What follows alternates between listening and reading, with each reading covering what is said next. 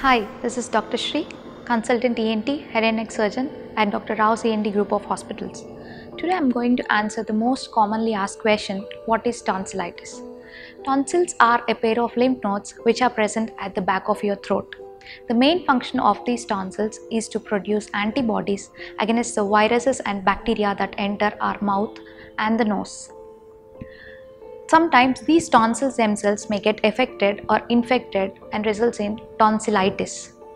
During tonsillitis, your kid may experience high grade fever or temperature or sore throat, difficulty in swallowing both liquids and solids, and sometimes the pain may radiate even to, into the ear causing ear pain. When these episodes occur more than 3 times in a year or more than 5 times in 2 consecutive years, it is better to get these tonsils removed known as tonsillectomy and you need to consult your ENT surgeon. Thank you.